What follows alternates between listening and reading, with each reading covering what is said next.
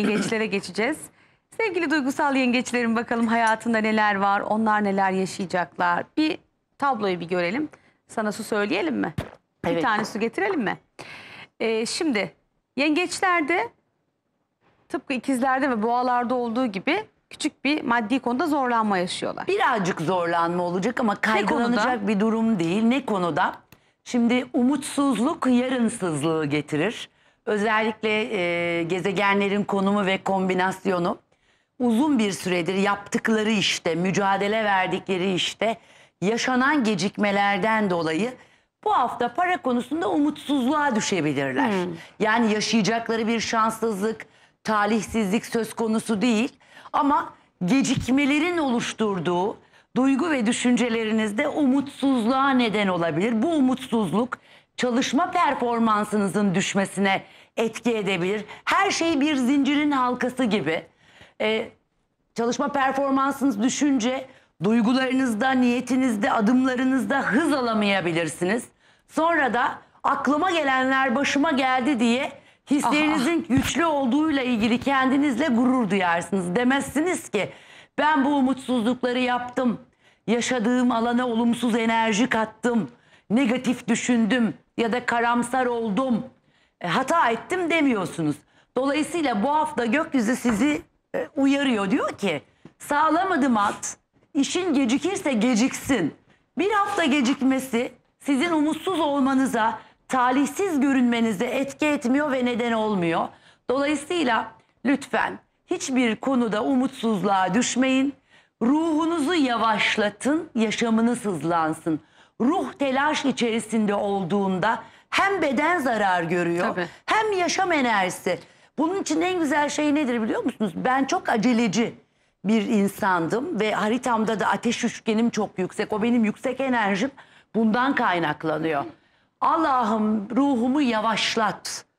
Allah'ım ruhumu yavaşlat diye dua ede ede her şeyin başı dua.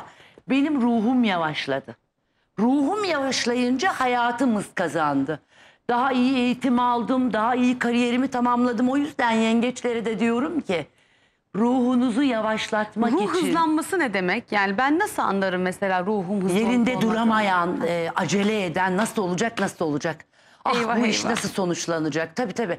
Ya bırak. Çocuğu Şimdi bak, evlendireceğiz, düğün biz nasıl olacak? yanlış- O oğlan hala işe girmedi, ne olacak? Nurcum ruhunu yavaşlatıyor biliyor musun?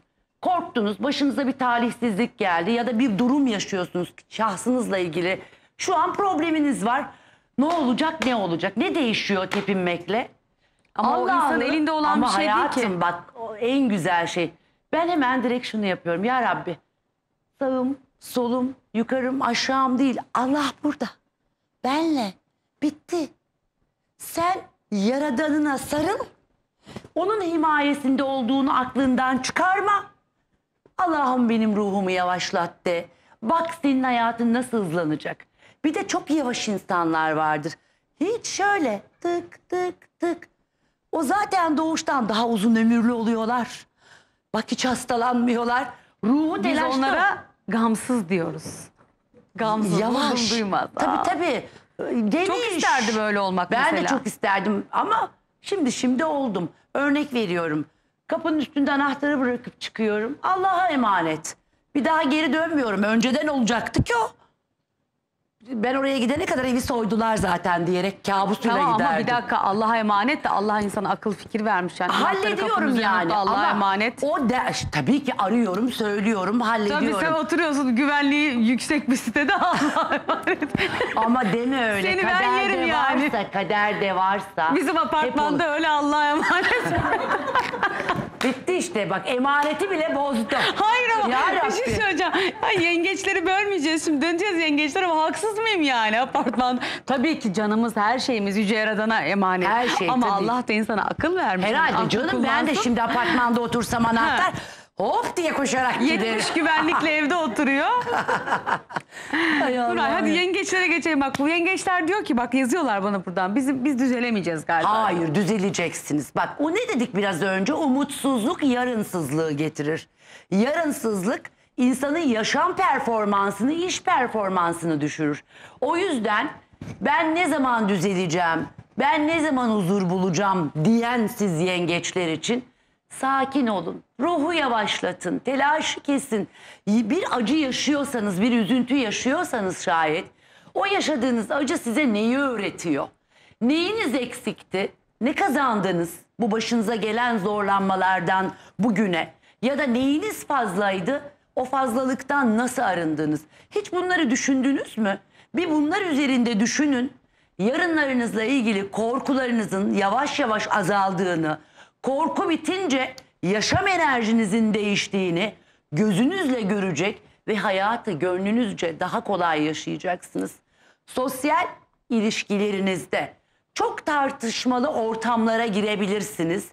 Kimsenin arasına girmemeye, kimsenin sözünü lafını bir başkasına taşımamaya lütfen hafta boyunca özen gösterin.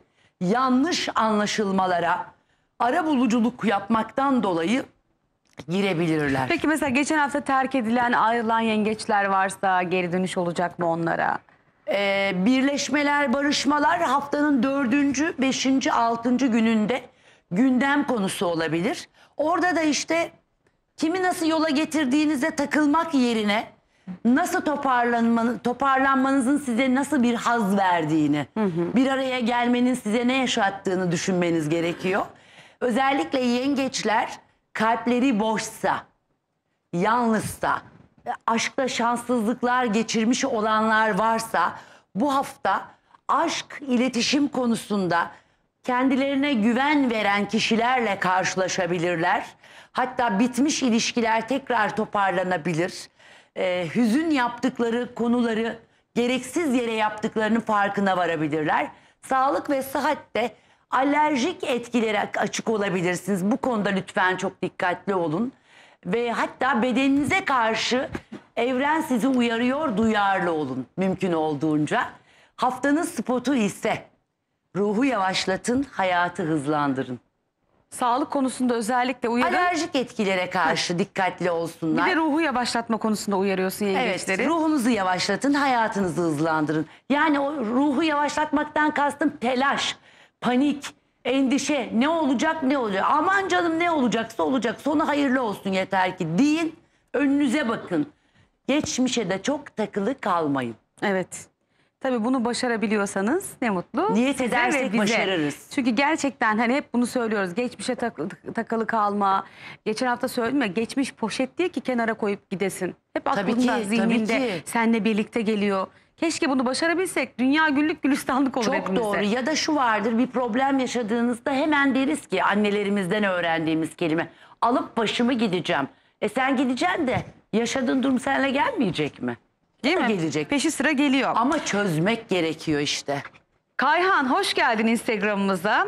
Servet Değerli o da yeni katılan ailemize yeni katılanlar arasında. Evet hayatımda ilk defa yazıyorum Nur Hanım sizi çok seviyorum. Kandiliniz mübarek olsun demiş Ciz Afa. Teşekkür ediyorum Aslan Burcu'ymuş ve merak ediyor Aslan Burcu'nu neler bekliyor diye. Az sonra ge- gelecek. Duygu çok tatlısın. Ne demiş biliyor musun Duygu? Ne demiş? Genç akreplere evlilik var mı? Genç